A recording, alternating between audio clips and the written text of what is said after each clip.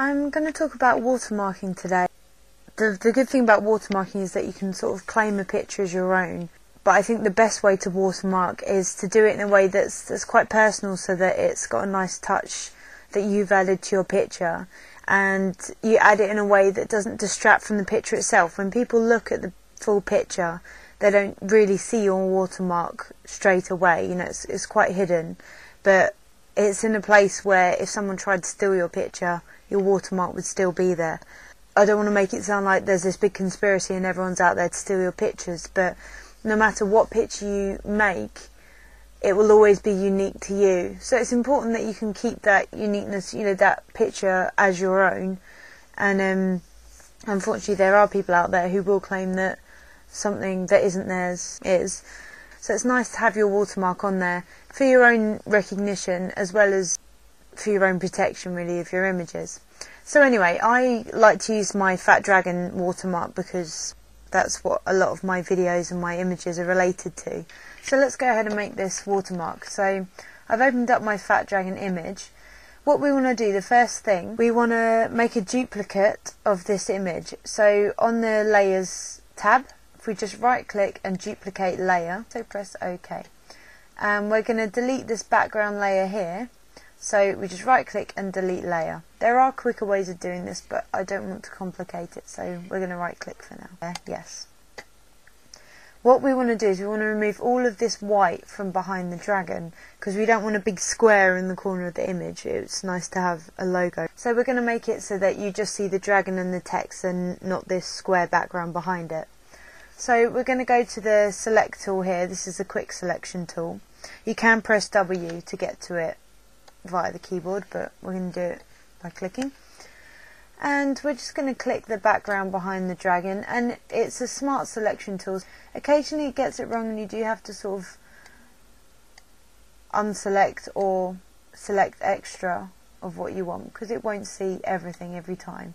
But at the moment, I'm just selecting all the bits of white that the selection tool missed on its way around. And you can see some of these letters didn't get selected, that's just the way that the selection tool worked around it. So what we can do, if we press Alt, you'll see up in this top corner here, there's the selection tool. One has a plus next to it, one has a minus. When we press Alt, it selects the minus one. If we let go, it's back on plus. We want to do minus because we want to take away the selection of these letters that weren't meant to be selected. So just by holding down Alt and clicking it's taking off the selection from the letters. So all of the white now in this image is selected. So if we press Control and X, it's the cut, and we've basically cut away that whole background. So now all we've got is the silhouette of this dragon.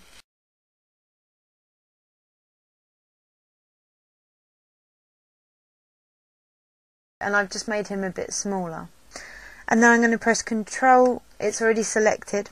So I'm going to press control C for copy control N for new so it's a new document. So we're going to press OK for a new image and control V for paste. So you've pasted that back into the new image and you'll see it fits quite nicely within the new image.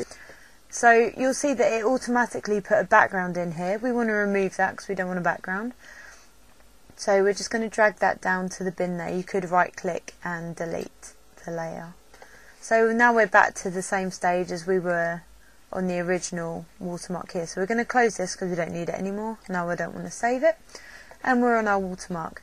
Now, it's very, very rare that you'll want to put a watermark that's coloured, personally. I mean, maybe I'm wrong, maybe people like to do that, but I don't.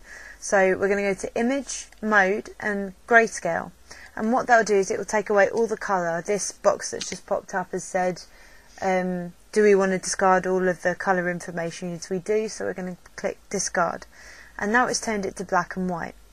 Uh, one other thing I like to do, you don't have to do this, but I like to, is to go to filter, stylize, and emboss what this does is you can see it makes it look like it's been stamped into the image. I quite like it if you look at like metal presses where they stamp in a logo into metal items, that sort of thing.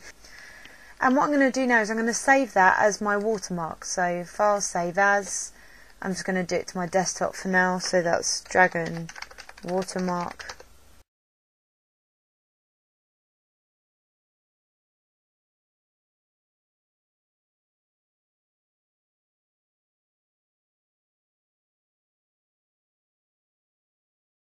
So now we've got our watermark ready and open, we're going to press Ctrl A for selecting all and Ctrl C for copy. And now I'm going to go into one of my other images and press Ctrl V for paste. And what that does is it pastes it onto a new layer. Now if I click the selection arrow up the top left hand here, I'm just going to move him down. He's obviously way too big, he's way too distracting at the moment. So we're going to press Ctrl T for transform and that allows me to resize the image.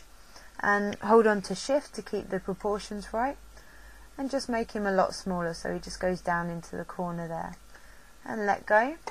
Just click the tick up here and we've selected that size and everything and the positioning and we've agreed that that's where we want it.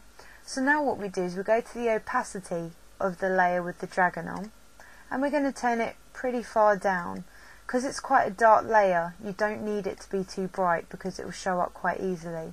So on this one maybe I'll put it on 9% so that is very very low opacity but as I say you don't want it to distract from your image.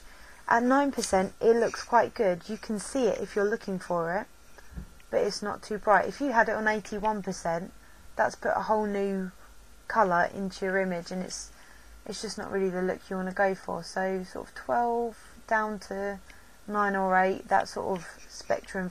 But personally this is the way that I watermark my images and if you were not sure how to watermark your images or if you wanted to see how other people do it this is how I watermark. I hope that makes sense. I hope you are able to watermark your images to your taste. Thanks for watching